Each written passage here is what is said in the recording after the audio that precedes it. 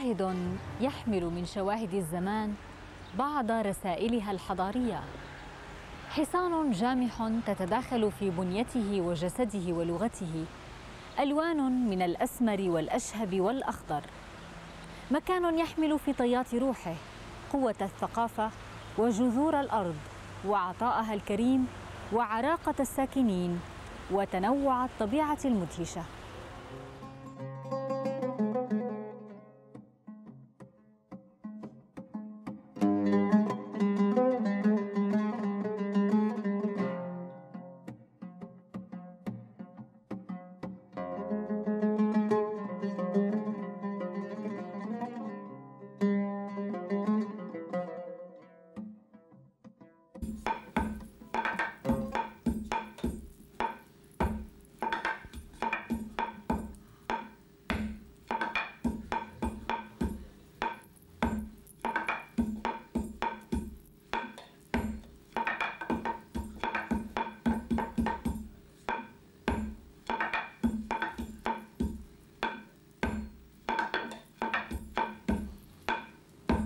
إنها نوى.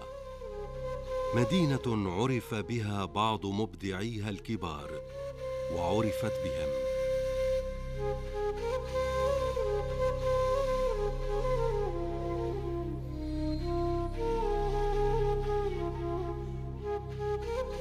نوى كما يقول يقوت الحموي في معجمه بلفظ نواة التمر بلدة من أعمال حوران. وقيل هي قصبتها بينها وبين دمشق منزلان.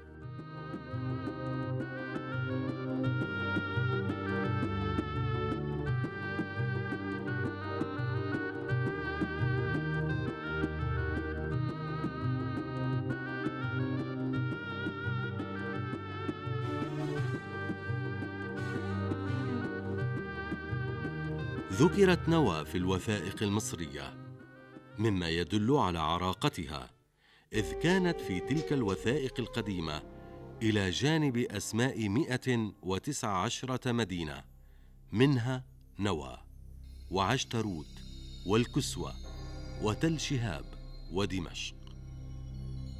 وكان هذا في عصر الآشوريين الذين اقتحموها ودمروها في عام 732 قبل الميلاد في عهد تجلت فلصر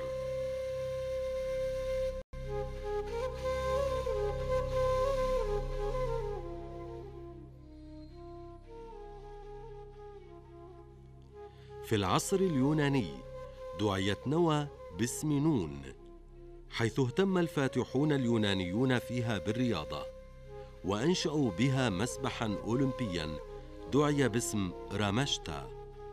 وكان يضم خزان ماء يتخذ احتياطيا تستعمله المدينة في أيام الحصار. وقد اختفى الآن ولم يعد موجودا.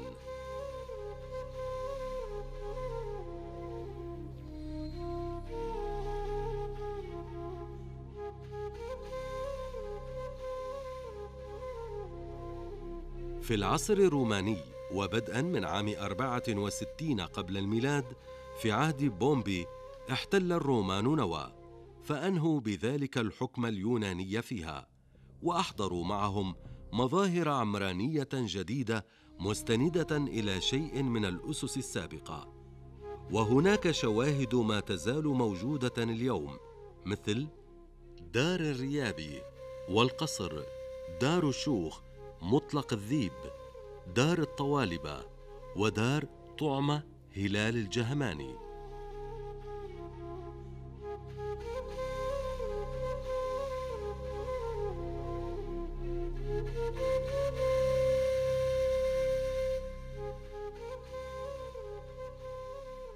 جاء العصر البيزنطي امتدادا لسابقه الروماني إلا في التعديلات الثقافية والعمرانية التي نشأت من اعتناق الدولة والمجتمع للديانة المسيحية الديانة السورية الجديدة.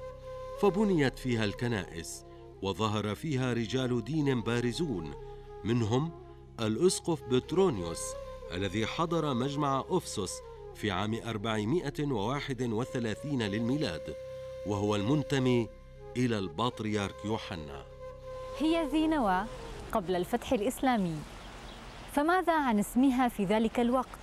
ما معناه؟ ومن أين جاء اشتقاقه؟ بالنسبة لمدينة نوى مدينة قديمة وعريقة منذ الأزل وقد سكنها الإنسان القديم منذ أكثر من خمسة آلاف سنة قبل الميلاد وقد سميت بعدة تسميات آه، كثيرة وتمكن الإنسان من بناء آه، متطور وعصري كبير آه، جدا في هذه المدينة فمثلا على سبيل المثال سكنها العموريون منذ الألف الثاني قبل الميلاد وسكنها اليونان واجتاحها الأشوريون كذلك بنفس التوقيت عام 732 قبل الميلاد. وقد أسميت آه، في المنطقة بشكل عام اسمها جولان وتعني الدائرة ومن ثم انتقلت في العصر اليوناني إلى تسمية نون. فتعني نون كذلك مظهر الحضارة الحديثة اليونانية السورية المشتركة. وعمل حلف اسمه حلف الديكابولس حلف ائتلاف المدن العشر. هذه عشر مدن شرق نهر الأردن أخذت ميزة وطابع الحضارة الحديثة السورية اليونانية. وقد كشف بهذا المجال عن آه، برديات زينون التي كانت موثقة بهذا المجال ووثيقة بشكل عام آه، لمدينة نوى بهذا الاسم نون. وفي العصر الروماني عام 69 قبل الميلاد آه، بدأت حياة حديثة ومتميزة أكثر من سابقيها. فقد سميت نوى باسم نيه. في البداية في العصر الإغريقي وفي العصر المتوسط الروماني سميت نيبة وفي العصر البيزنطي سميت نيفي. وكان حاكم نوى دمر في العصر البيزنطي. وقد لاقى جيوش المسلمين في لواء كامل من الجند مقاومة عشرة آلاف في معركة أجنادين.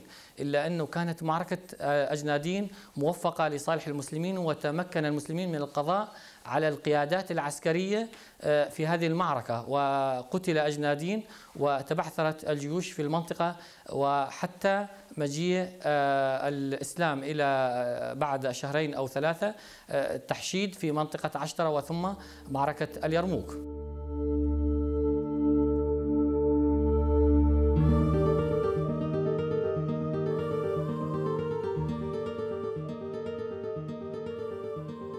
موقع نوى هو في الجهة الغربية من وسط محافظة درعا حيث تحيط بها مجموعة من التلال القليلة الارتفاع تحولت مع الزمن إلى تلال أثرية. وقد بلغ عدد سكان نوى حتى العام الميلادي 2003 حوالي 65 ألف نسمة وهذا رقم لا يبتعد كثيرا عن عددهم في زماننا الراهن.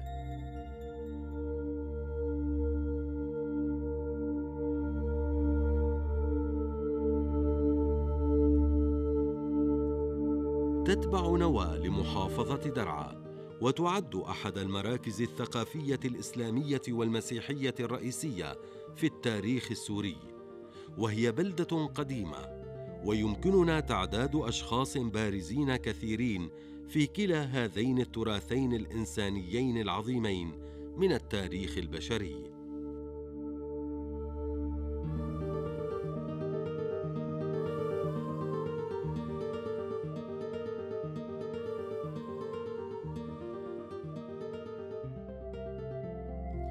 سكنت نوى من قبل الإنسان القديم قبل آلاف السنين ومن هؤلاء الباشانيون الذين قطنوها قبل ألف عام من ميلاد السيد المسيح. واعتبر بعض الباحثين أن نوى كان اسما للجولان ويعني الدائرة. دعيت نوى في العهد اليوناني الذي ابتدأ في عام 333 قبل الميلاد باسم نون. وابتداء من هذا العصر دخل العنصر اليوناني إلى المنطقة التي كانت إحدى مدن الديكابولوس المدن العشر شرقي نهر الأردن.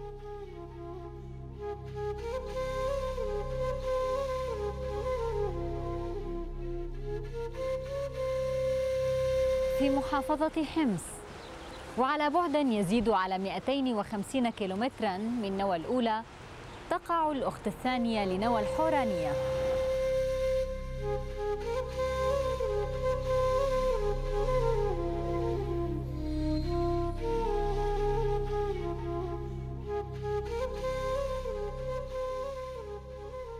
نوى الحمصية قرية تتبع لمنطقة المخرم إلى الشرق من حمص.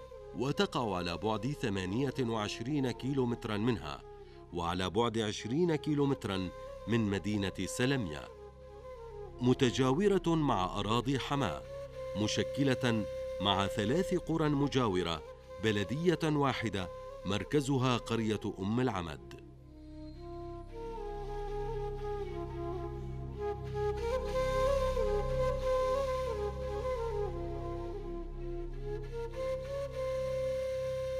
يتداول كبار السن في نوى الحمصية حكاية طريفة عن تسمية قريتهم بهذا الاسم.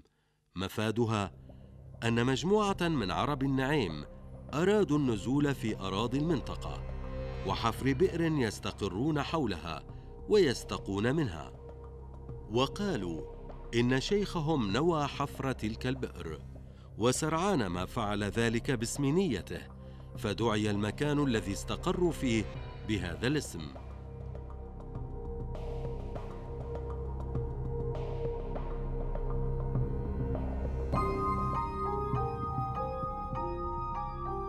ويقال إنه في التلال الصغيرة المحيطة بالقرية تقع نوى القديمة. تضم نوى الحمصية هذه الكثير من المغاور تحت الأرض التي يعلو بعضها بيوت القرية. وكان السكان يتخذونها مأوى لأغنامهم ولتخزين المؤونة.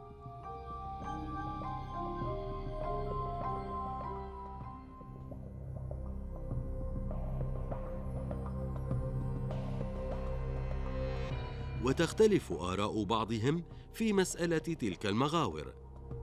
فمن قائل إنها قديمة جدا ومؤكد إنها من عمل الآباء المعاصرين وأجدادهم المباشرين. ولعل بحثا علميا صحيحا ينقص هذه المنطقة لكي نخرج بنتيجة علمية حول حقيقتها علما أنها تعد بالعشرات.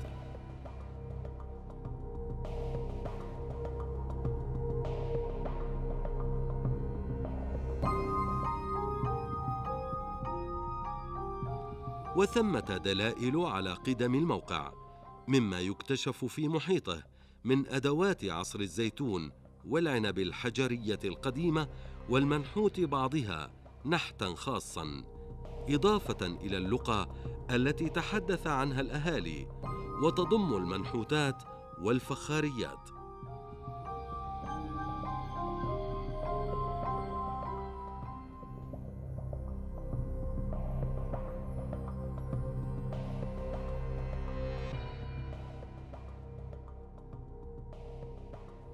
ومن المؤكد أن قرب نوى الحمصية من المشرفة حيث آثار مملكة قطنة القديمة وتجاورها النسبي معها يحتم تبعيتها لها في الأزمنة القديمة.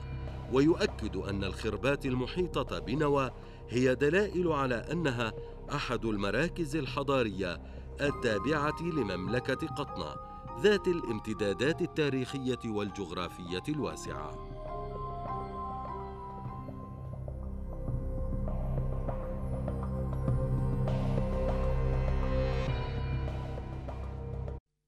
في جولتين بين نوى هذه ونوى تلك. تتجلى الرؤية المؤكدة من أصالة ساكني هذين المكانين.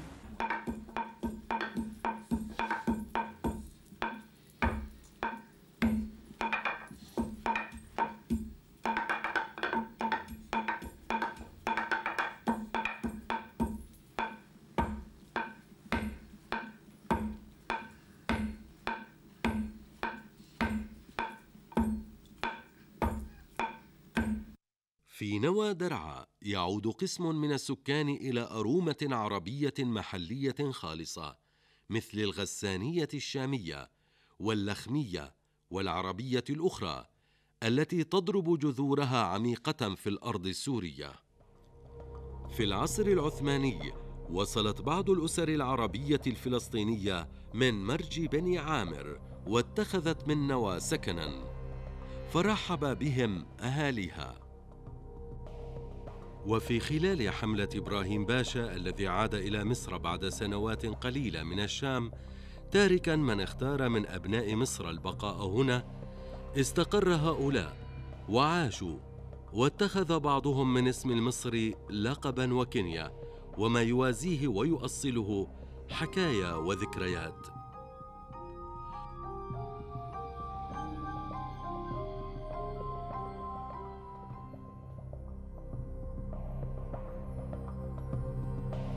وتتأكد هذه الأصالة في اللهجات والبنية والتسلسل التاريخي للأحداث وأشجار الأنساب من خلال الموسوعة الحورانية التي أعدها المهندس هشام عبد العزيز الباحث في أنساب حوران وتاريخها. إذا انتسبت إلى قوم فلي شرف أني من القوم في أطراف حوراني. أنسابهم يعربيات مسلسلة من نسل قحطان أو من نسل عدنان داري على ضفة اليرموك شامخة ترنو إلي وفي الجولان بستاني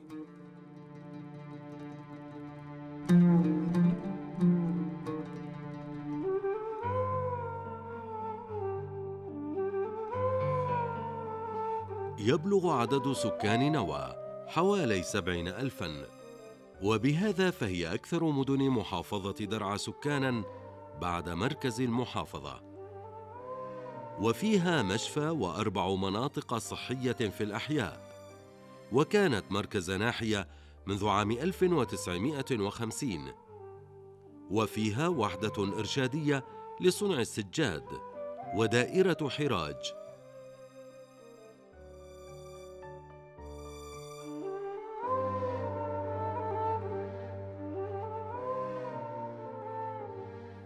ونبقى مع نوى الحورانية ومع دورها الفاعل في الثقافة. فقد ظهر في العصر الإسلامي أحد أهم رجال الثقافة الإسلامية فعلا وتاليفا وتاثيرا. ما تزال آثاره موجودة وفاعلة من خلال مؤلفاته حتى اليوم. هو الإمام النووي الذي زاره عند وفاته الشاعر أبو حفص الوردي. ليرثيه بقوله عن نوى ذاتها وعن ابنها العظيم الإمام النووي. لقيت خيرا يا نوى وحرست من ألم النوى فلقد نشأ بك زاهد في العلم أخلص ما نوى وعلى عداه فضله فضل الحبوب على النوى.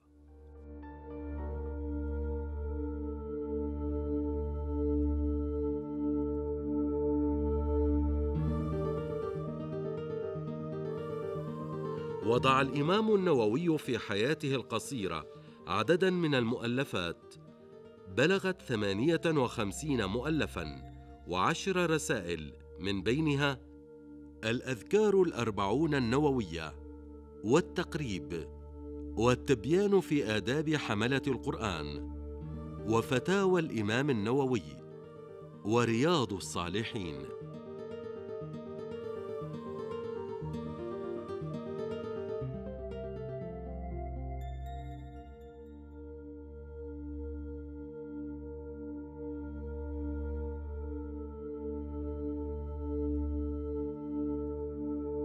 من جديد نعود إلى نوى الحمصية. لنذكر على لسان بعض مثقفي القرية أن السكان الذين سكنوها في العصور الحديثة إنما يرجعون إلى المهاجرين إليها من بعض أنحاء غرب ووسط سوريا منذ أيام الجفتلك في العصر العثماني.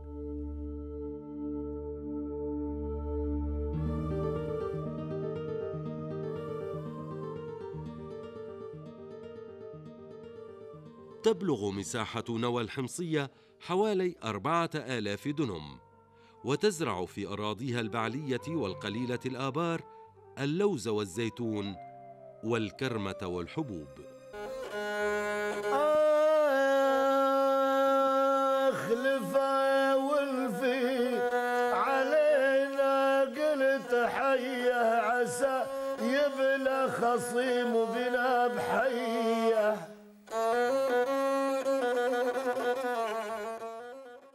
وهم ما يزالون محافظين على تراثهم مع احتكاكه بالتراث البدوي الأصيل الذي يتلامس مع حياة بادية الشام التي تلامس بدورها قرية نوى وجزءا كبيرا من حدود عدد من المحافظات السورية. آخ القلب ما نخطر. عبلكم كنا بالدمع نسقي عبلكم.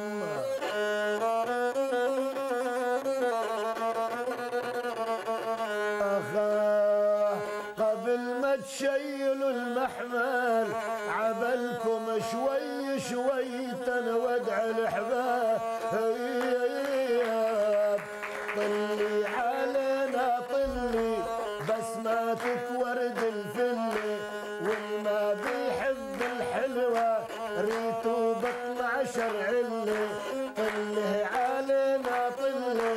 ورداتك ورد الفل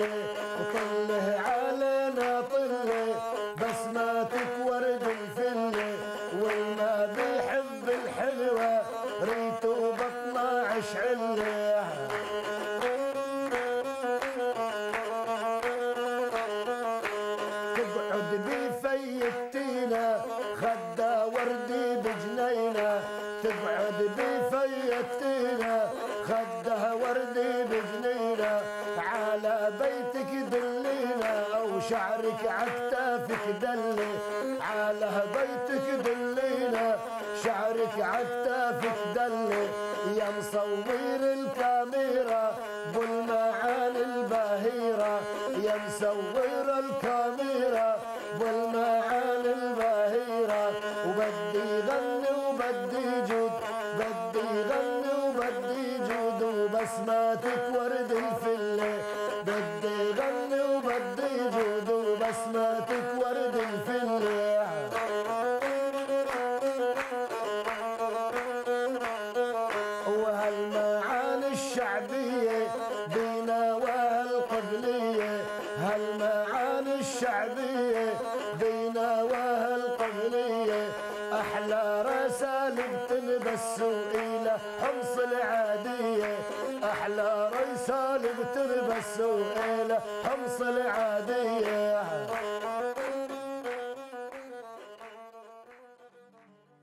ونبقى مع نوى في الوسط والجنوب السوري. نوى التي يحتمل اسمها تفاسير متعددة مثلما تحمل في بنيانها النفسي والثقافي القيم الكريمة والحاضر الجاد والقادم الواعد. إلى اللقاء.